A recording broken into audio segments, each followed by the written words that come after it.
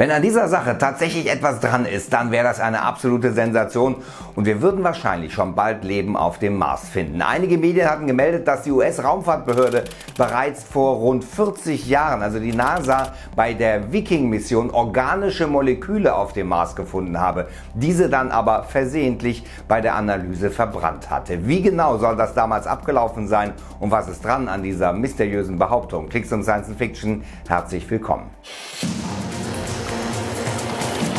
Das war vor 42 Jahren der absolute Hammer. Im Juli 1976 landete die berühmte NASA-Sonde Viking 1 auf dem Mars. Einige Wochen später auch ihre Schwestersonde. Die erste erfolgreiche Landung auf dem Mars überhaupt. Die Mission bestand aus zwei Orbitern, die den Mars umkreisten und zwei Landern, die auf dem roten Planeten aufsetzten. Schon beim Landeanflug jubelte das Forschungsteam, denn die Erforschung des Mars nahm endlich konkrete Züge an. Dazu der NASA-Historiker Historiker Glenn Boggess.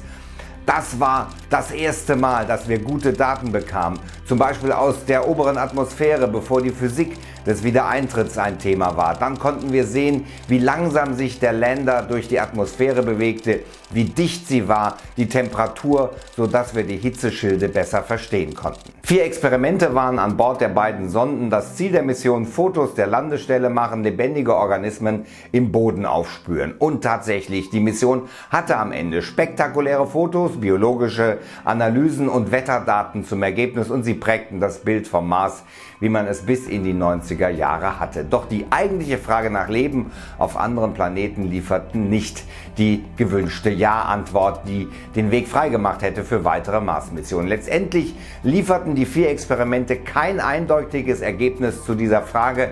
Die Resultate waren schwer zu erklären und konnten stattdessen so oder so interpretiert werden. Handelte es sich nur um chemische Reaktionen im Zusammenhang mit dem Marsboden oder waren sie doch als Hinweis auf organisches Leben auf dem Mars zu interpretieren? Beispielsweise beim Stoffwechselexperiment. Hier gab es bei der ersten Probe von Viking 1 ein positives Resultat, das die Forschungsteams damals euphorisierte. Der Anstieg der Zähler deutete zunächst auf einen hohen Umsatzwert eines Stoffwechsels hin, also wie bei uns beim Menschen die Verdauung.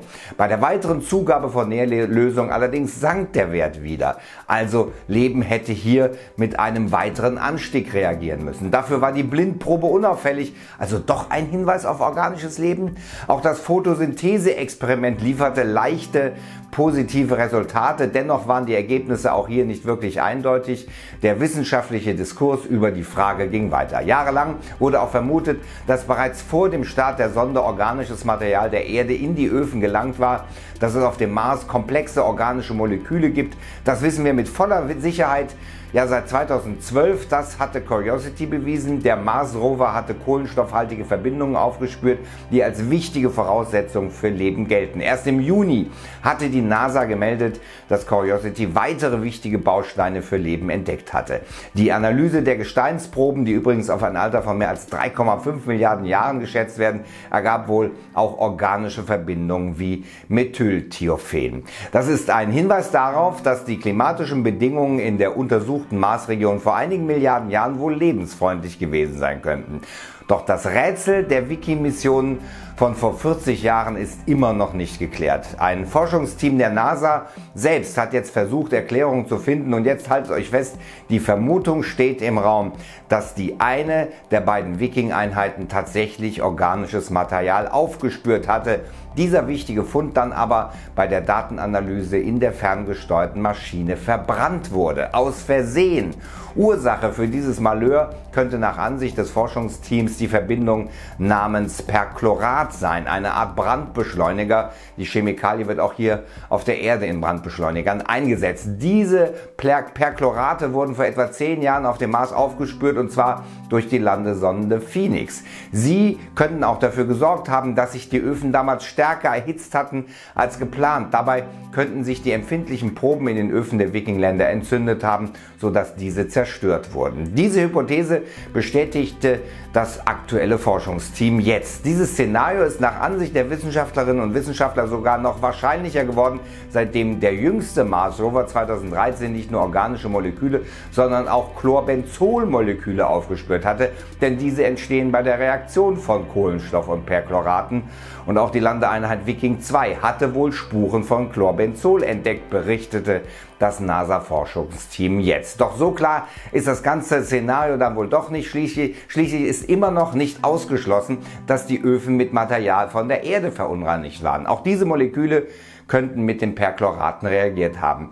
Ein Gegenargument allerdings ist, dass die kohlenstoffartigen Substanzen von der Erde eigentlich schon bei niedrigeren Temperaturen hätten reagieren müssen. Ja, vielleicht wird uns aber die ExoMars-Mission, die 2020 auf dem roten Planeten landen soll, weitere Erkenntnisse dazu bringen. Es ist also tatsächlich möglich, dass wir schon bald Leben auf dem Mars entdecken. Wenn ihr kein Video dazu und zu allen anderen Themen verpassen wollt, dann addet mich bei WhatsApp, dann umgeht ihr die kaputte Abo-Box hier auf YouTube, wo also nur manchmal, sagen wir mal, oder ab und zu ein Video auftaucht von einem Kanal, den ihr abonniert habt und verpasst kein Video, denn über WhatsApp, da erfahrt ihr von mir persönlich vor jedem Upload, äh, vor allen anderen, also taglich garantiert, wenn ein Video online geht, einfach hier draufklicken und am besten auch meinen Schwesterkanal Klicks um Social Media abonnieren. Da gibt es das Neueste aus der Social Media Welt. Dafür hier klicken, aber nicht die. Genau, die Glocke vergessen. Hier geht es weiter mit dafür auch draufklicken. Außerirdisches Leben auf dem Mars, neue Indizien. Bis dann. Bleibt dran.